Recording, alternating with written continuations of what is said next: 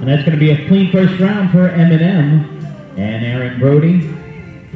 As we move on to the jump off, they'll be trying to beat 32.848 Butterfly Ambition. And Barbara Rockford still lead the way.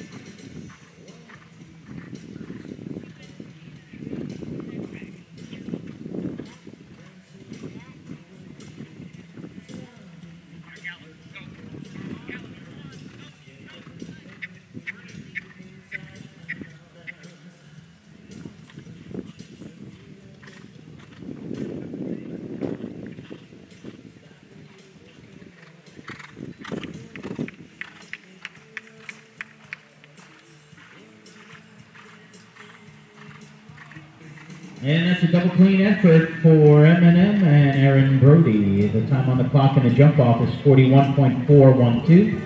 41.412. That's good for fifth place so far.